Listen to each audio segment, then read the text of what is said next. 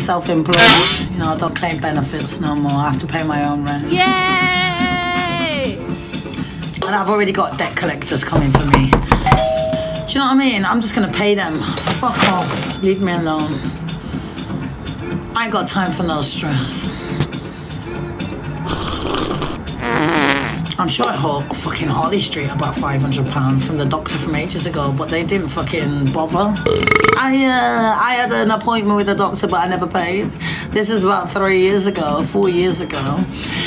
Like probably five years ago. Um, I wonder if my eyelashes are growing back.